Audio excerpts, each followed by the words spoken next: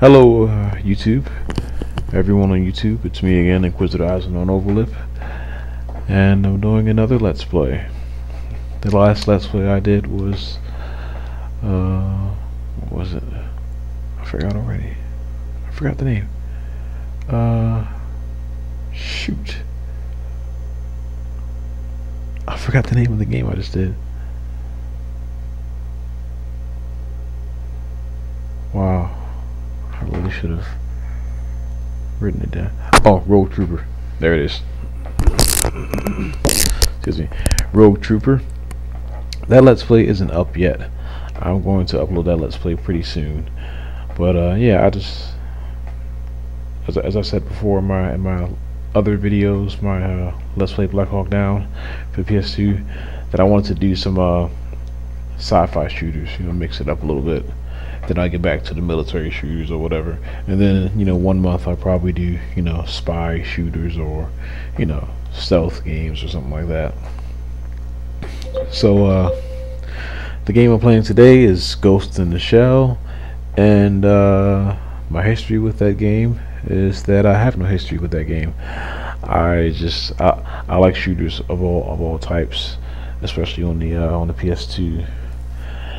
I mean, if I, I mean, God help me if I had a P, if I had a PC, like or or if I was into like shooters on the PC as well, because there's a ton of shooters on there as well. But that's not that's not that's not the subject.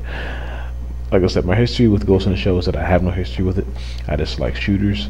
I looked it up one day. Well, I was looking up games and on Amazon to buy, and I saw this in the related searches, and I was like, "Well, I, I didn't know they made a Ghost in the Shell game." I'm not really too familiar with the anime, but I saw the game on Amazon, typed it on YouTube, saw that it was a shooter, and I was like, okay, well, let's go for it. And uh, it's made by Band, published by Bandai, developed by, I'm not sure, Ocavia. I think Cavia. I'm not sure. I think I think Cavia is the one that did uh the Guard games. I'll have to uh look that up but yeah, you know, so I saw that it was a shooter, and and I was like, let's go for it. That and it was just a Bandai game, and like I like I like shooters, you know, that are. Uh, I like all kinds of shooters, you know, that like especially from the seventh generation. I like stuff. I particularly like stuff that Bandai does. I try to buy all of their games for the PS2 and PS3 or whatever, and I particularly like it because I wanted to see how it was because, like I said before, people, you know, on the seventh generation, you know, PS2 or whatever, and Xbox, the rule was it was almost like a rule, like a secret unwritten, or you know, like a secret rule or whatever. Not not not a secret rule, you know, like just you know, a rule of thumb basically that all movie games or games based off of cinema or TV games sort of sucked. They were all garbage. They're like, oh, it's movie games, you know that you know they're not that great. and I wanted to prove them wrong, or I want to sort of prove that myth wrong. Not with all of them, because I will admit a lot of movie-based games or cinema-based games, whether it's movies or, or games based off movies or games based off television, a lot of them are bad. But you know, like there's you know there's also a lot of them that are actually pretty good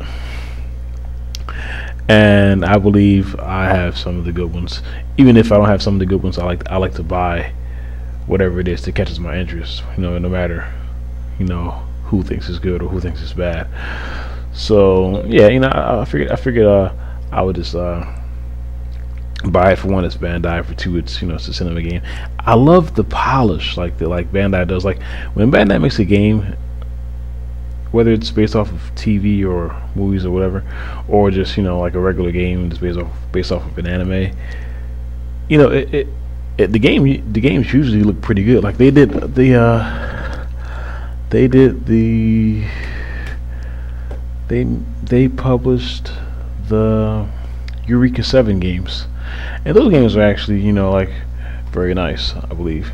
Yeah, Bandai, Namco Bandai or Bandai Namco. And those games actually look pretty good. They're not they're not the best games, but they're pretty fun. You know, they they offer an, an, uh, uh, like another take or whatever. but without further ado, and I've, I've sure I've talked you guys ear off long enough with my introduction video. Without further further ado, let's get started with this Let's Play. Hopefully things will go well and smooth, and I'll be able to complete this Let's Play. And, uh, hmm. After this, I'm going to try, uh, if things go well with this game, even if things don't go well with this game, if if if I just can't cut it or or you know whatever the case may be, Tron is on my list next, and God help me, and that game is. This game I'm, I'm playing blind, by the way. Tron 2.0 killer app for the original Xbox. My next Let's Play. I've I, have never played that game out. I've tested it out to see if it worked or not, or you know to see how it played. The game is over 60 missions, so I don't know how long the Let's Play is going to be.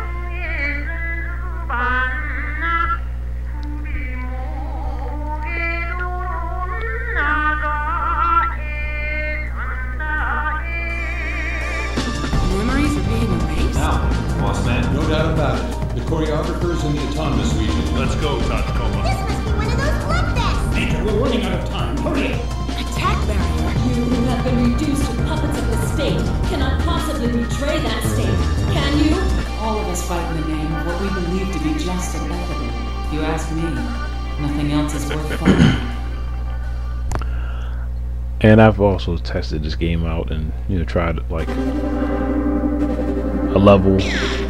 I've never even completed a full level before. I just tested it out. I'm hoping this is one of those games where I'm, hope I'm hoping this is one of those game, one of those games that has uh, that still has music during the cutscenes whatever. Because I do like music in my cutscenes. I just don't like it during my gameplay. You guys know that by now.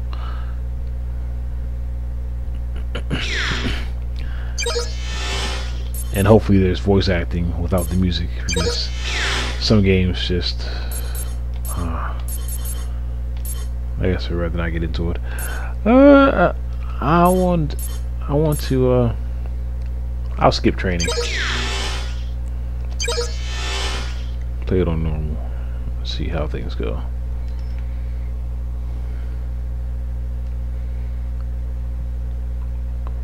One thing I like about this game is there there seems to be a lot of uh sound individuals had not yet been converted today. The extent that they came from unique components. 120 seconds to Niihama Pier. I couldn't even read that fast. Over altitude of 20. We'll drop in from above the pier entrance and commence the op. Roger. Batou, the exit's all yours. Right. You just leave all of those fleeing rabbits to me. I'm counting on you. Hey, Chief. Ready All right. whenever you are. What's so important about this op that I lose my day off? The military has requested us to arrest a witness who's at a black market weapons sale taking place at Niihama on Pier N3. Apparently, the weapons were scheduled to be scrapped by the military but were misappropriated. Shouldn't we put a leash on him and see where he runs? The important thing is that he's the subject of an investigation. Major, you extract his memories and find out who's backing his shopping spree. Regarding the current pier situation, it's believed that a substantially large armed group has infiltrated the site. You want me and Batou to do this alone? I'll have Ishikawa back you up. Pass information to him for analysis as you get it. I doubt that you'll have any trouble with it, Major, but the operating systems at the pier are pretty old. I'll send you data piecemeal. Togusa, keep an eye on military intel. Roger. Saito, back up the major from the water. Roger. Pazu and Borma, check out any groups you suspect are related. Roger. Roger. Okay. Now get out there and start earning your pay, people.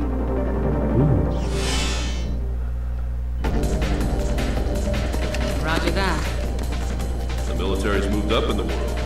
They got us cleaning up after their messes. Let's have them owe us one.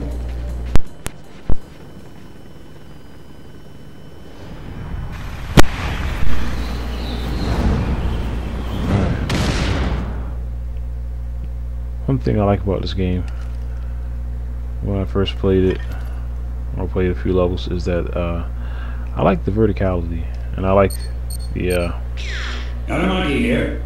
I've spoken with the related bureaus. Complete your mission before the ship leaves. Roger. I like I like shooters that let you like they give you like mobility and they let you actually shoot. Oh yeah, yeah, yeah not shoot, but uh, games that let you act like shooters that act that let you actually like jump around and like that have uh that have uh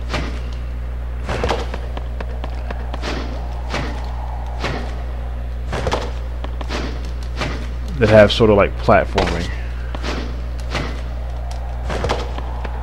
I don't I don't necessarily I don't necessarily like platforming in my first person shooters. I you know like I think that sort of gets a, a little annoying at times. But uh yeah, aside from that, let's see here.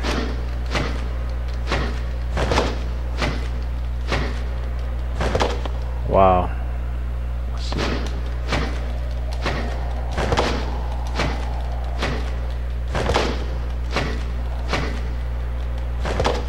Wow, okay, this is crazy.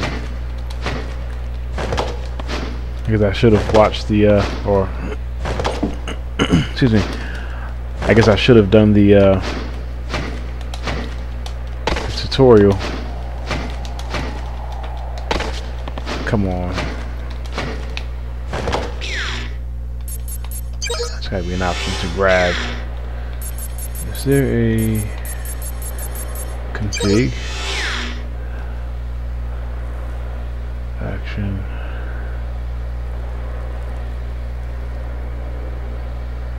I'm guessing it's X. I was watching a review of the game, and he was saying how you have to sort of hold the grab button or whatever when you. Now I'm trying to figure out which button is the grab button. Uh-huh. Okay.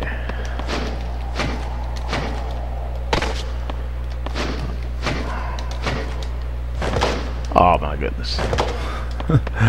I really should have watched the uh, did the uh, tutorial.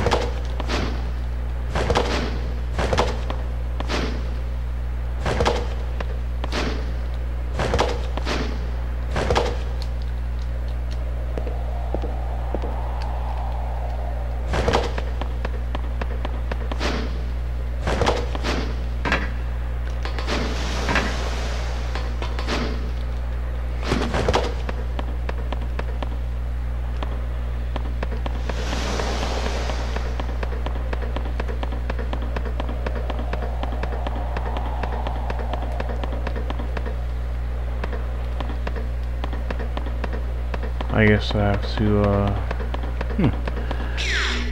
Oh, man.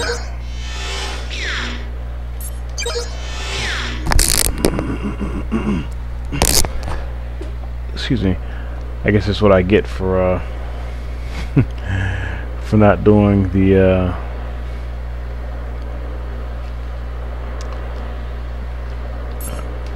Not doing the training missions.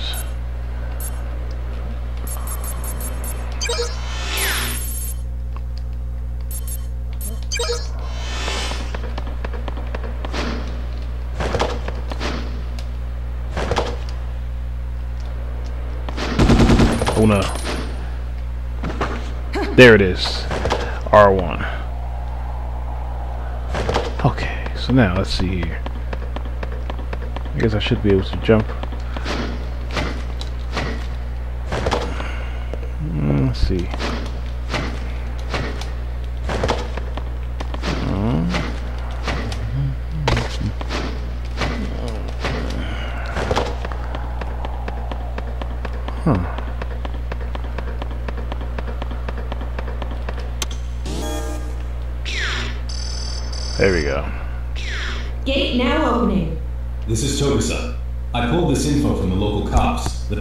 Security was hit by a sneak attack 48 minutes ago, and the security system was overwritten. Enemy forces seem to have the pier under their control. Understood.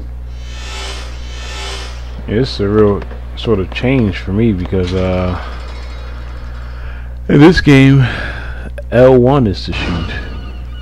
And most shooters I play.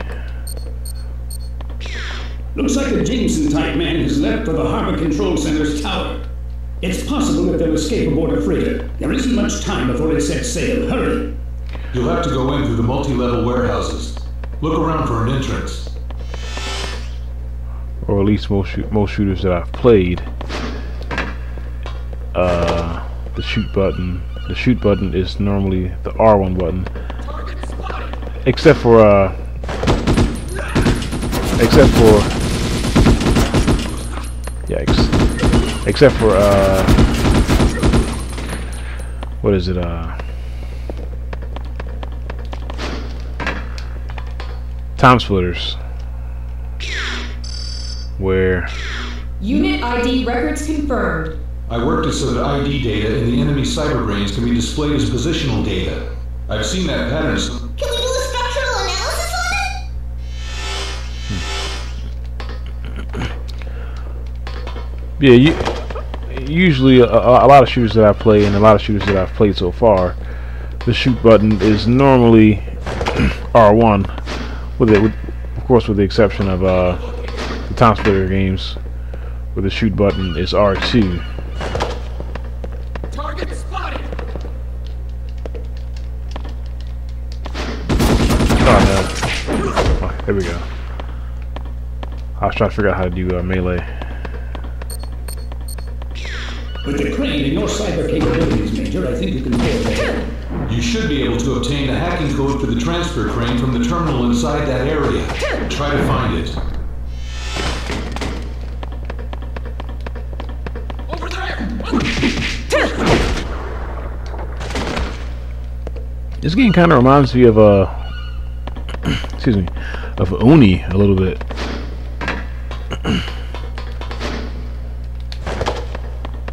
Because Oni also has a lot of melee combat and a lot of uh, jumping around and stuff.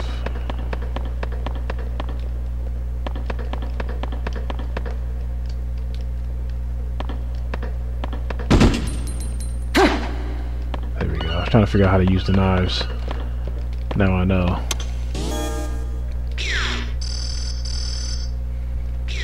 This will let you work the crane. It's a pattern code that runs along path A3. Okay. Executing crane boot up.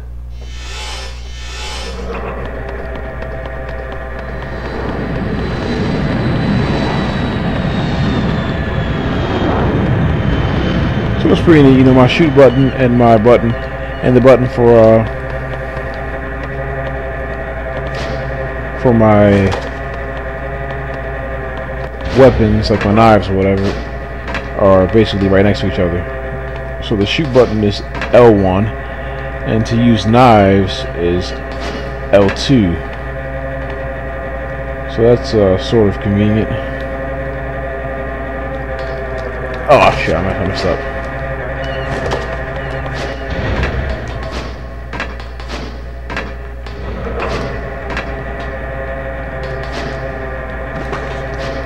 We go.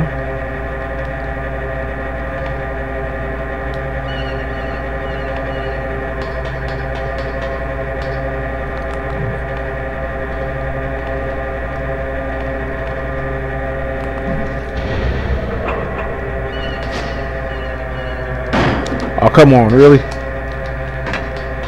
Son of a gun.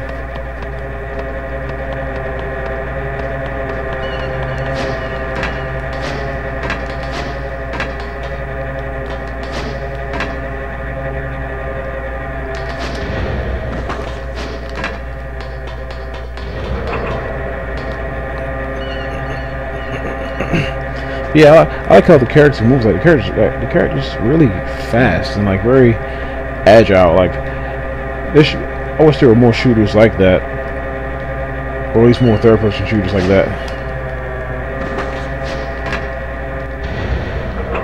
Like I said, of course, all of them doesn't. Need, every shooter doesn't need to be like that, you know. But it's nice to uh, you know, sort of change of pace every now and then.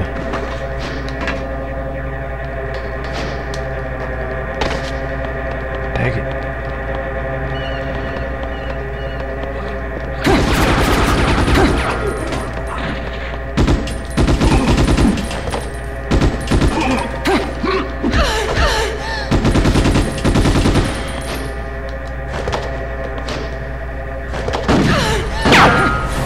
Wow.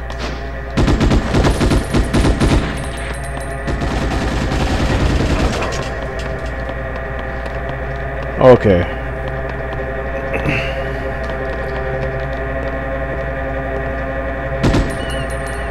Yeah, yeah, you actually have to choose melee with square. I was trying to just melee real quick, and uh, son of a gun.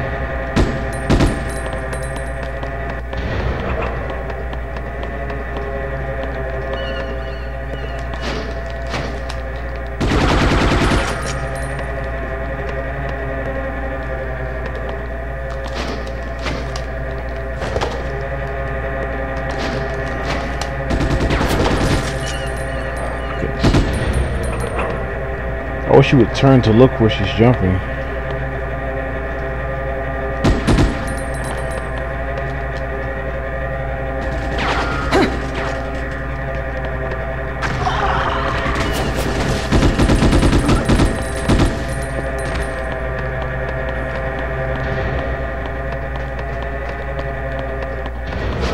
I'll be right back. I believe my lasagna is ready. Be right back. Okay, I'm back. Yeah, that lasagna is nowhere near finished. Alright. See here.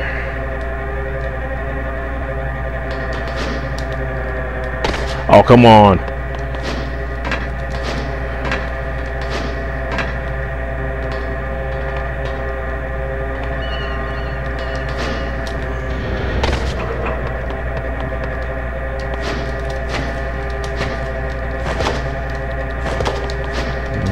Come on. So I'll try to jump from here, I guess. There we go. And now. Excuse me. Sorry about that. Uh, so I guess I get over there from here.